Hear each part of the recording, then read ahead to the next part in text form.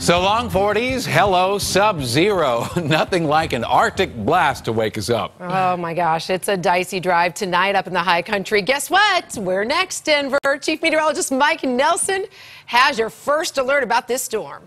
Well, I'll tell you what, the storm is coming in, but most of the dry road conditions we have right now will linger into the morning. These advisories go in effect for tomorrow for the front range. Up into the mountains, they'll have a little bit more snow will down here, but right now there's not a lot of activity around. The scattered snows have moved off away from Denver. What's happening? What's falling? Temperatures 24 degrees currently in Denver and in Greeley, 23 at Fort Collins. Combine the wind, and it feels like 9 at Fort Collins and Greeley two degrees out at Akron with the strong winds coming in from the north as the colder air is pouring southward into the metro area and across the northeast plains.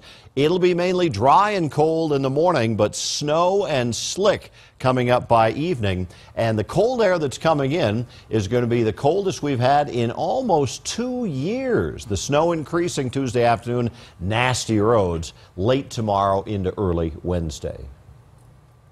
And Denver 7's Marshall Zellinger is out in the cold tonight. Marshall, you're hearing from natives who want to give some newbies the heads up. We went around the city and found a few things. One, a lot of people avoiding the cold here in front of Union Station. So if you want unimpeded looking at the lights, here you go. We found people embracing the cold over at Zoo Lights, including one family that had their little one bundled up so much that when you hear what mom had her dressed in, it may make you sweat. Undershirt, sweatshirt, coat.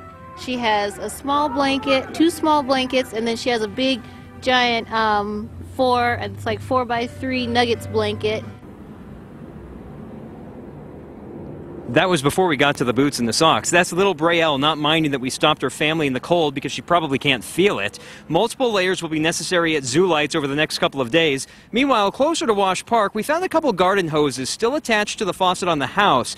You don't want that. Detach the hose, or worst case scenario, you could get a burst pipe. But one homeowner who smartly had his detached told us that's not his biggest tip for newcomers. But I think more than anything else, snow tires.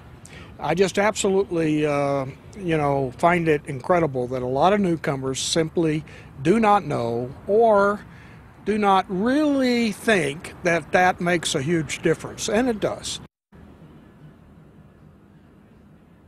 So if you ever wanted to do anything outside, like, you know, see these lights or go to zoo lights or go to an outdoor ice rink, you may have it all to yourself pretty much between now and Friday. You just have to be willing to bundle up. Reporting live in Denver, Marshall Zellinger, Denver 7.